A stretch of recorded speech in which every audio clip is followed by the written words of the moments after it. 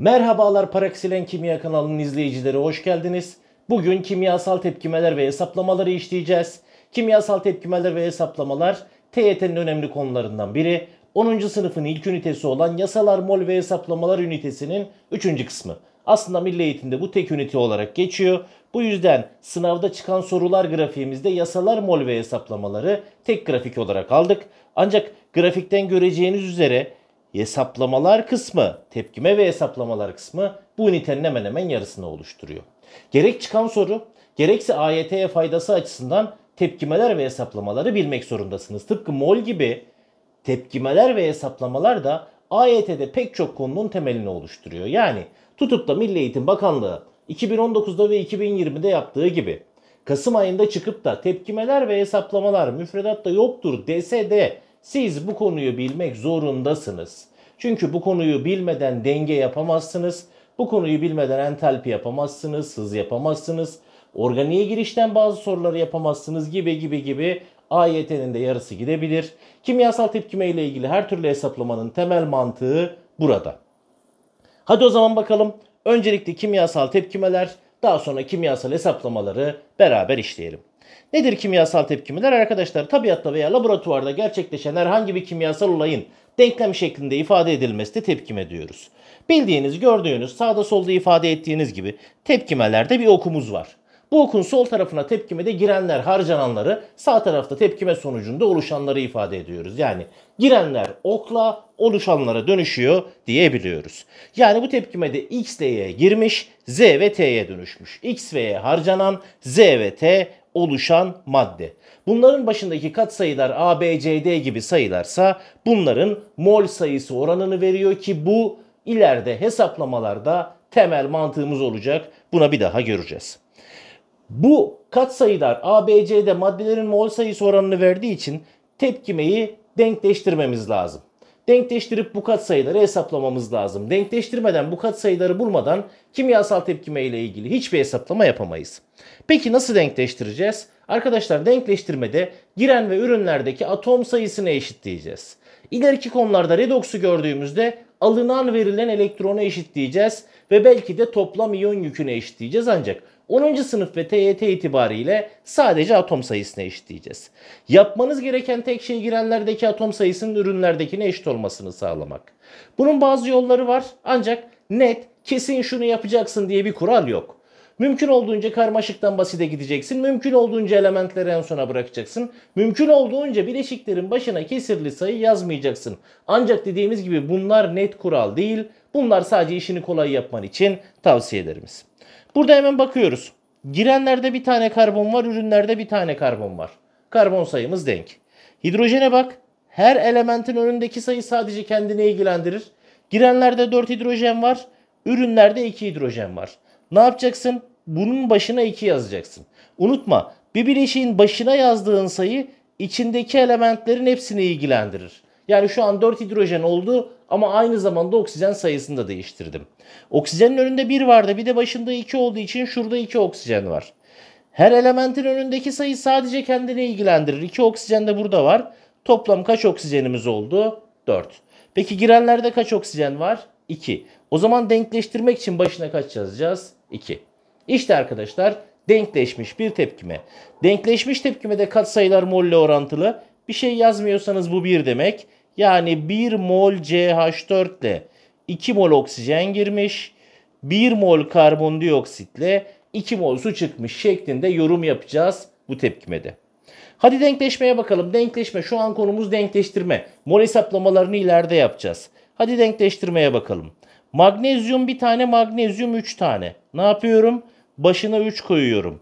Bu tepkimeyi eksik yazmışım arkadaşlar. Hemen tepkimeyi tamamlayayım. Burada bir H2'miz var. Devam ediyorum denkleştirmeye. Başka, başka. P bakın şurada bir tane. P şurada iki tane. O zaman başına 2 koyuyorum. Tamam. Hadi oksijene bakalım beraber. Başındaki bir bileşiğin başındaki sayı içindeki elementlerin hepsini etkiliyordu. 2 çarpı 4 8 oksijen oldu. Burada bakın parantezin dışı parantezin içindekilerin hepsini etkiliyor. 2 çarpı 4 8 oksijen var. Oksijen de tamam. En sona hidrojen kaldı. Hidrojene bakalım beraber. Başındaki sayı hepsini etkilediği için 6 hidrojenimiz var. O zaman şunu 3 ile çarpıyorum. 6 hidrojenim var. Tepkimem denkleşti. Denkleştirme dikkatli yaparsan son derece kolay. Biraz matematiğin varsa herhangi bir şekilde sıkıntı çekmeden yapabileceğin bir nokta. Devam edelim mi? Alttaki tepkimeye bakalım. Bakın hemen bakıyorum. Mümkün olduğunca hidrojeni oksijeni sona bırakın. Mümkün olduğunca karmaşık bileşiği sona bırakın. Mümkün olduğunca hidrojeni oksijeni sona bırakın. Hemen bakıyorum bir kükürt var. Burada ise 3 kükürt var. Ne yaptım? Başına 3 koydum. 3 kükürt oldu. Sadece bileşiklerin başına sayı yazabilirsiniz arkadaşlar. İçine yazamazsınız. Hemen bakıyorum. 2 alüminyum var. Hidrojeni oksijeni sona bıraktım yani. Alüminyuma geldi sıra. Şurada 2 koyduğumuzda 2 alüminyum var. O da tamam. Diğerlerini denkleştirdiğime göre şimdi hidrojen ve oksijene bakabilirim. 3 çarpı 2 bileşiğin başına yazdığım sayı içindeki elementlerin hepsini ilgilendiriyor. 2 çarpı 3 bileşiğin başına yazdığım sayı içindeki elementlerin hepsini ilgilendiriyor. Ne oldu? 12 hidrojen. 12 hidrojen olması için 6 ile çarptım. Ne kaldı geriye? Oksijen. Hadi sayalım bakalım oksijeni. Bileşiğin başına yazdığım sayı içindeki elementlerin hepsini ilgilendiriyor 12 oksijen. Bileşiğin başına yazdığım sayı içindeki elementlerin hepsini ilgilendiriyor 6 oksijen. Etti 18. Hemen şuraya bakalım 3 çarpı 4 12 oksijen burada var. 6 çarpı 1 6 da burada var 18 oksijen. O zaman tepkimemiz denkleşmiş. Nasıl?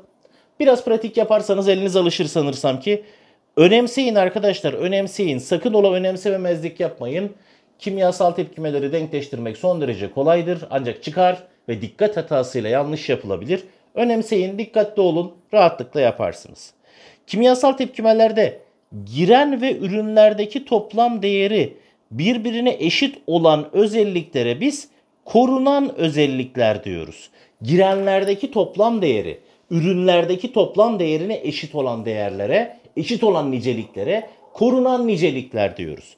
Bakın atom sayısı ve türü, kütle, proton sayısı, nötron sayısı, elektron sayısı, çekirdek yükü, toplam yük, çekirdeğin yapısı ve toplam enerji kimyasal tepkimelerde asla değişmeyen özelliklerdir. Toplam elektron sayısı değişmez arkadaşlar. Atomun elektron sayısı değişebilir. Bir atom diğerine elektron verebilir. Yine toplam yük değişmez. Birinin yükü artıp diğerinin yükü azalabilir. Bunlar her bir atomda değişebilir ancak toplamda değişmez. Geri kalan niceliklerse yani proton sayısı, nötron sayısı, kütle gibi niceliklerse bir atomun da değişmez. Yani bir karbonun proton sayısı girenlerde neyse ürünlerde odur. Karbon karbon nereye gitsin hiçbir şey gitmiyor. Bu yüzden zaten kütle değişmiyor.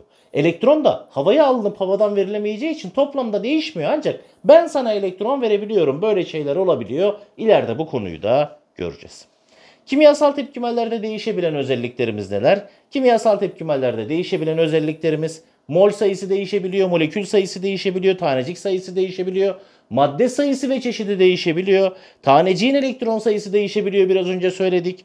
Hacim ve basınç değişebiliyor, maddenin fiziksel hali, renk, koku, tat, iletkenlik gibi fiziksel özellikler de değişebiliyor. Ne demiş bir tepkime vermiş? Bu tepkime ile ilgili çizilen maddeler grafiklerden hangisi doğrudur? Bakalım. Katı kütlesi girenlere bakıyorum maddem katı. Ürünlere bakıyorum maddemin biri katı biri gaz. Hani kütle korunuyordu kimyasal tepkimelerde. 100 gram katı girse üründe katıyla gazın toplamı 100 gram olacak. Dolayısıyla katı tek başına 100'den daha az olacak. Katı kütlesi azalacak ancak tamamen bitmeyecek. Doğru. Toplam atom sayısı zaten değişmez. Atom sayısı korunan nicelikler arasındaydı. Toplam kütle de değişmeyecek. O da korunan nicelikler arasında. O zaman 1 ve 2 doğru, 3 yanlış sorumuzda. Kimyasal tepkimede 5 tane tepkime türümüz var arkadaşlar. Bunlar TYT'de bizim karşımıza çıkacak tepkimeler. Bunun dışında metallerin asitlerle olan tepkimeleri de var. Onlar AYT konusu. O nedenle onlar burada yok arkadaşlar. Onları AYT'de redox'ta, elektrokimyada işleyeceğiz. Asit bazda da işleyeceğim. Asit bazda da bir daha hatırlatacağım orada da çıkıyor. Asit baz konusunda da elektrokimyada da bahsedeceğim bu tepkimelerden ancak metallerin tepkimeleri TYT'de yok. 5 tane tepkime türümüz var TYT'de. Yanma, sentez, analiz, asit baz ve çözülme, çökelme. Nedir yanma? En kolay tepkimelerimizden biri yanma arkadaşlar. Çok basit. Girenlerde O2 arayacaksın. Girenlerde O2 olan bütün tepkimeler bizim için yanma tepkimeleri. Eğer yaktığın şey elementse element oksijenle birleşip okside dönüşür. Yaktığın şey bileşikse bileşiğin içindeki her elementin ayrı ayrı oksidi oluşur. Yani bileşiğin içindeki her elementi ayrı ayrı yakıyormuş gibi düşünürsün. Bak Karbonu yaktın ne oluştu? Karbondioksit. Hidrojeni yaktın ne oluştu? Su. CH4'ü yakarsan bir karbonu yakmış gibi düşüneceksin. Bir de hidrojeni yakmış gibi düşüneceksin. Mantık bu. Bileşiği yakarsan içindeki her elementin ayrı ayrı oksit bileşiği oluşur. Eğer eğer hidrokarbon yakıyorsan yani sadece C ve H'tan oluşan bir bileşik yakıyorsan yukarıdaki mantık gereği karbondioksit ve su çıkar. Bu tepkimeleri denkleştirmenin de standart bir yolu vardır. Önce karbon, sonra hidrojen, sonra oksijen. Bu tepkimelerin en kolay denkleşme yolu sürekli budur. Bu hesaplamalarda çok sık karşımıza çıkacak. Unutmayın hidrokarbonların CH, oksijen de ekleyebilirsin. CHO'dan oluşan bileşiklerin yanması sonucu. Karbondioksit su çıkar. Denkleştirirken bak önce karbona bakarsın. 3 tane karbon var, 3 tane karbondioksit. Sonra hidrojene bakarsın. 8 tane hidrojen var. 4 ile çarparsam 8 tane hidrojen oldu. En son oksijene bakarsın. 6 oksijen, 4 oksijen, 10 oksijen var. 5 ile çarparsam 10 oksijen oldu. Anlaştık değil mi? Karbon, hidrojen, oksijen. Yanma olayının gerçekleşebilmesi için bak, yanma olayının gerçekleşebilmesi için 3 şart lazım. Yanıcı madde, yakıcı madde ve tutuşma sıcaklığı. Yanıcı madde, yakıcı madde yani oksijen ve tutuşma sıcaklığı. Hatta itfaiyede yangın, yangın söndürme dersleri gösterilirken bu bir üçgen olarak, yangın üçgeni olarak gösterilir. Yanıcı, yakıcı ve tutuşma sıcaklığı. Bu üçünden birini kırarsanız, bu üçünden birini yok ederseniz yangını söndürmüş olursunuz. Yani ya yanıcı maddeyi ortamdan çekeceksiniz, ya yakıcı maddeyi, oksijeni ortamdan çekeceksiniz ya da tutuşma sıcaklığını düşüreceksiniz. Kullandığımız köpükler, yangın söndürücüler yangının üzerine çökerek oksijeni yangından uzaklaştıran, yangınla oksijen arasındaki teması kesen maddelerdir. Yani oksijeni keserek yangını söndürür.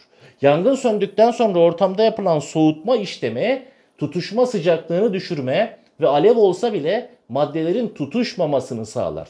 Mantığınız bu arkadaşlar. Ya yanıcı madde ya oksijen ya tutuşma sıcaklığını değiştireceksin ki yangın gerçekleşmesin.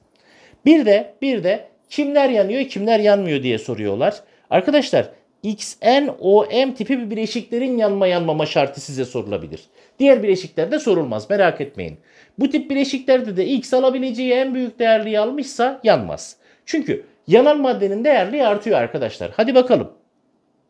Bak azot değerliği sıfır. Elementel halde her şeyin değerliği sıfır. Yaktın örneğin NO oluşsun. Oksijen 6A'da hatırla atom numarası 8, 2, 6 diye diziliyor. Bütün bileşiklerinde eksi 2 alıyor OF2 hariç. Bazı istisnalar da var ileride söyleyeceğiz. Oksijen eksi 2 ise azot burada artı 2 bak değerliği arttı. Mantık bu. NO'yu yaktın. NO'yu yaktın. Atıyorum ne çıktı? N2O3 çıktı.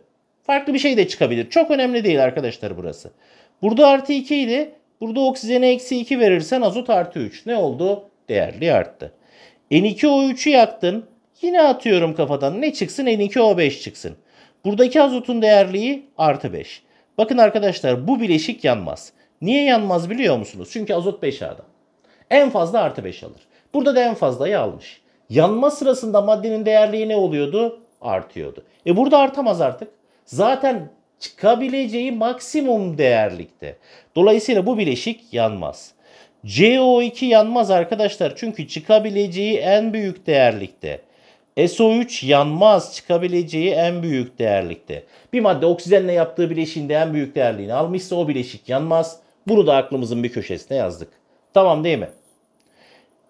Ve yanma hakkında son olarak karbon içeren yanıcıların yanması sırasında yani örneğin hidrokarbonların, örneğin günlük hayatta yaktığımız doğalgazın yanması sırasında yeterince oksijen yoksa tam yanma gerçekleşmez. Bu sırada karbon monoksitle beraber karbon oluşur. Karbon monoksit tatsız, renksiz, kokusuz ve zehirli bir gazdır. Sessiz ölüm olarak bilinir. İnsanları son derece zehirleyebilir. Dikkat edelim. İkinci tepkimimiz sentez. Analiz sentez son derece kolay. Sentez ne? Bir şeyi sentezliyorsun, oluşturuyorsun. Bak sentezlemek, oluşturmak demek.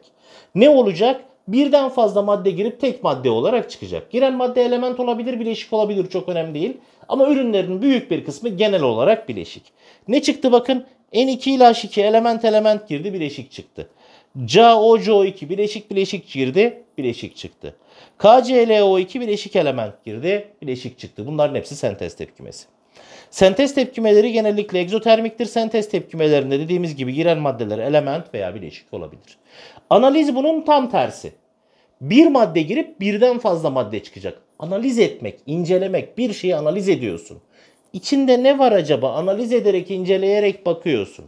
Analizde giren madde bileşiktir. Ürünler element bileşik olabilir. Bak bileşik her zaman elementlerine ayrışmak zorunda değil. Bileşik birden fazla bileşiğe de ayrışabilir. Bileşik bir bileşik bir elemente de ayrışabilir. Giren bileşik ürünleri bilmiyoruz. Aşağıdaki maddelerin hangisinin yanması sonucu diğerleriyle aynı gaz açığa çıkmaz diye bir soru yanma sorusu. Ne diyorduk? Yanma oksijenle tepkimeye girme. Hidrojen oksijenle tepkimeye girdi su. Karbon oksijenle tepkimeye girdi karbondioksit. CO, C'si oksijenle tepkimeye girdi. O, ile tepkimeye girmez karbondioksit. CH4 karbondioksit ve su. C6H12O6 karbondioksit ve su. Hepsinde karbondioksit açığa çıkıyor. A'da karbondioksit açığa çıkmıyor. A'da diğerleriyle aynı gaz açığa çıkmaz. Bir tepkime verilmiş bakın bir madde girmiş birden fazla madde çıkmış. Ne tepkimesi bu? Analiz. X'in ne olduğunu incelemişiz. Analizde giren madde bileşiktir. Ürünler hakkında kesin bir şeyimiz var mıydı? Hayır yok. Ürün bileşik de olabilir. Element de olabilir. Soru kesinlik sorduğu için yalnız bir dedik. Geçtik. Asit baz tepkimeleri yapısında hidrojen bulunduran ve suda çözündüğü zaman iyonlaşarak bu hidrojeni suya veren maddelere asit diyoruz arkadaşlar. Asitler ekşidir. Meyvelerin yapısındaki ekşilik asitlerden kaynaklanır. Milli eğitim müfredatında yalnız e, böyle bir gariplik olabiliyor arkadaşlar. Yani e, izleyen varsa çok saygı duyuyorum, sevgiyle belirtiyorum sitemimi. Ancak müfredatı oluştururken biraz gelecek konuları, geçmiş konuları ve diğer derslerle bağlantısını düşünmesek mi acaba? Yani önce asit baz tepkimesi verip bundan iki konu sonra asitlerin ve bazların tanımını vermek sanki çok uymuyor. Asit baz konumuz buradan iki su konu sonra. Hesaplamalarda asit baz tepkimesi olmasın. Yani ne olacak? Ya bu bize sıkıntı yaşatıyor. Bunu izleyen öğrencilerimizin çoğu TYT öğrencisi bunu biliyor fakat 10. sınıfta biz bunu işlerken çok sorun yaşıyoruz. Aynı zamanda 11. sınıfta da bu sıkıntımız var. 11. sınıfta biz asit baz konusunda logaritma işliyoruz. Ancak öğrenci matematikte logaritmayı 12'de görüyor. Yani biraz birazcık birazcık özen istiyoruz müfredatı hazırlayan arkadaşlardan. Neyse Asitler bakın HCl bir asit suya attık ne çıktı? Hidrojen. HNO3 bir asit suya attık ne çıktı? Hidrojen. H2SO4 bir asit suya attık ne çıktı? Hidrojen. CH3COOH suya attık hidrojen. HI suya attık hidrojen. Yapısında OH bulunduran ve bu OH'ı suya veren maddelere de baz diyoruz. Bazlarda acı ayrıca ele kayganlık hissi veriyor arkadaşlar. Örneğin lityum hidroksit, sodyum hidroksit, potasyum hidroksit, baryum hidroksit, alüminyum hidroksit. Amonyak, bakın amonyak istisnai olarak OH taşımadığı halde suya OH verdiği için baz buna dikkat ediyorsunuz. Asitlerden de arkadaşlar asetik aside dikkat ediyorsunuz. Yapısında OH varmış gibi görünüyor ama suya OH değil. Hidrojen verdiği için asit. Aklımızın bir kenarına yazdık. Peki asit baz tepkimeleri ne? Asitliğe neden olan hidrojenle bazlığa neden olan OH'ın birleşip suya dönüşmesiyle gerçekleşen tepkime. Burada asidin hidrojenden geri kalan kısmıyla bazın OH'tan geri kalan kısmı birleşip tuza dönüşüyor. Yani asit baz tepkimesi sonucu tuz ve su oluşuyor. Hemen bakın. En klasik, en çok bildiğimiz asit HCl. HCl'nin hidrojeni NaOH'ın OH ile birleşip suya dönüştü. Geri kalanlar da birleşti NaCl. Bak mis gibi asit baz tepkimesi. Çapraz olarak birleştiriyorsun. H'da OH'ı Na ile Cl'yi birleştiriyorsun. Bu kolay. Peki böyle bir tepkimede ne yapacağız? Bu niye kolaydı? Birebir birleşiyor zaten. Burada birebir birleşmiyor. Bak gayet basit. Önce bazdan geleni alıyorsun. Bazdan gelen K. Kaç tane OH almış? Bir tane. Bu K'nın yükü. Artı 1. Sonra asitten geleni alıyorsun. Ne? SO4. SO4'e kaç tane hidrojen bağlanmış? 2 tane. Eksi 2. Çaprazda 2 buraya geldi. 1 buraya geldi. K2SO4. Bak tuzun formülü. Peki denkleştirelim mi? Denkleştirelim mi? 2K var. 2K. 1 CO4 var. 1 CO4. 2 hidrojen, 2 hidrojen daha 4 hidrojen. İşte sana 4 hidrojen. Bak bir daha yapıyorum. Aşağıdan takip et. Bazdan geleni aldım magnezyum. 2 tane OH aldığı için artı 2. Asitten geleni aldım PO4. 3 tane hidrojen aldığı için eksi 3. Karşılıklı olarak çaprazla Mg3 PO4 kök olduğu için parantez içine alıyorum. 2. Asit baz tuz artı su zaten standart. Hadi o zaman bakalım. Hadi o zaman bakalım nasıl denkleşecek. 3 magnezyum asit baz tepkimelerini tuzu 1 alarak denkleştir. Pratik bilgi tuzu 1 al. Mg3 3 Mg. PO4 2 2 PO4. Bak 6 hidrojen burada oldu. 6 hidrojen burada oldu. 12. 6 koyduk. Denkleşti oksijeni sayıp kontrol edebilirsin. Bir daha yapalım mı? Hadi gel bir daha yapalım. Bak. Çok kolay asit baz tepkimesi yazabileceğin en kolay tepkime. Bazdan geleni aldın. OH kadar artı yüklü. OH'in kendisi eksi çünkü. Asitten geleni aldın. Hidrojen kadar eksi yüklü. Artı 2 eksi 2 çaprazladın sadeleşti. Ne oluştu? Baryum karbonat artı su. Tuzun katsayısını bir al. 1 baryum 1 baryum 1 karbonat 1 karbonat. 2 hidrojen burada 2 hidrojen burada var 4 hidrojen. 4 hidrojen tepkime denkleşti. Nasıl? Anlaştık mı biraz arkadaşlar? Asit baz tepkimeleri yazılması istenebiliyor bizden. Amonyak, amonyak biraz önce bahsettiğimiz özel baz amonyak OH içermediği için susuz baz olarak adlandırılır arkadaşlar. Susuz bazdır. Bu asitlerle olan tepkimesinde OH içermediği için su açığa çıkarmaz. NH3 artı HCl, NH4Cl. Bu yüzden bu tepkime nötrleşme olarak değil asit baz olarak sadece kabul edilir. Asit baz tepkimesi asitle bazın tepkimeye girmesi. Nötrleşme asitle bazın tepkimeye girip tuz ve su oluşturması demek. Aklının bir kenarına yazıyorsun. Su oluşmazsa nötrleşme olmaz. Nötrleşme tepkimeleri egzotermiktir. Nötrleşmede asit yerine asit oksit, karbondioksit bir asit oksit. Baz yerine baz oksit kullanırsan sadece tuz oluşur. Burada da su oluşmadığı için bu da nötrleşme değildir. Yani asit baz nötrleşme tepkimesi yalnız amonyağın tepkimesi nötrleşme değil. Su çıkmıyor. Bir de asit ve bazın ikisi de oksitse, asit oksit ve baz oksitse, asit ve baz değilse bu da nötrleşme değil. Asit baz olarak geçer ancak nötrleşme olmaz. Çözülme çökelme tepkimeleri fiziksel halinden anlıyorsun. Bak son derece kolay. Fiziksel hali suda suda katı suda şeklinde ise çözülme çökelme. Bak suda suda suda katı. Suda suda suda katı. Bu ise çözülme çökelme. Çözülme çökelme tepkimelerinde çöken maddenin nasıl oluştuğunu gösterdiğin tepkime netiyon denklemi. Mesela yukarıdaki tepkime için netiyon denklemi Ag ile Cl birleşip AgCl'yi oluşturuyor. Burada çökmeyen iyonlara sodyum ve nitrata da seyirci iyon diyoruz. Aşağıdaki tepkime için bak yazalım. Civa artı brom eksi eşittir HgBr bizim netiyon denklemimiz. Peki seyirci iyonlar kim? Potasyum ve nitrat. Bunlar son derece kolay. Çözülme çökelme tepkimelerinde bir A metallerinin tuzları ve nitrat tuzları genellikle seyirci iyondur. Bunlar genellikle çökmez arkadaşlar. Hemen tepkime türü ile ilgili bir soru. Birinci tepkime girenlerde O2 var yanma tepkimesi. İkinci tepkime bak hidrojenli bir madde OH'lı bir madde e, tuz ve suda çıkmış. Demek ki ikinci tepkime nötrleşme tepkimesi. Üçüncü tepkime suda suda suda katı çözülme çökelme tepkimesi. Üç tepkimede kütle korunur onu da aradan çıkaralım. Üçüncü tepkimede suda olanlar seyirci iyonlardır. Geri kalanlar yani katı olanlar çökenleri oluşturduğumuz tepkime netiyon tepkimesi. Molekül sayısı korunur. Hemen bakalım korunmuş mu? Bak bir tane molekül buradan, 4,5 tane molekül buradan, 5,5 molekül girmiş. 3, 4, 7 molekül çıkmış. Örneğin birinci tepkimede korunmamış. Molekül sayısı korunmak zorunda olan özelliklerden biri değildi arkadaşlar. Uzun bir sorumuz var. Pamukkale travertenleri ile ilgili bir soru. Diyor ki Pamukkale travertenleri kireçten oluşur. Kireç, kireç taşından yani kalsiyum karbonattan elde edilir. Kalsiyum karbonat ısıtılarak önce kalsiyum oksit oluşturulur. A tepkimesi. Kalsiyum oksit suyla tepkimeye girerek kalsiyum hidroksite dönüşür ve kalsiyum hidroksit de karbondioksitle birleşip kalsiyum karbonata dönüşür. Hemen bakalım bu tepkimelerin türleri soruluyor. A. Ne yaptık? Bir bileşiği ikiye ayırdık. Nasıl bir tepkime? Bir analiz tepkimesi. B ne oldu? İki madde girdi bir madde çıktı. Nasıl bir tepkime? Sentez tepkimesi. O zaman C'de ne oluyor? Ah analiz sentezimiz burada da varmış. C'de arkadaşlar bir baz var. Karbondioksit bir asit. Bir asit baz tepkimesi. Burada soruyu yazarken ufak bir hatamız olmuş. Bu nötrleşme değil asit baz olacaktı benim sorum yine.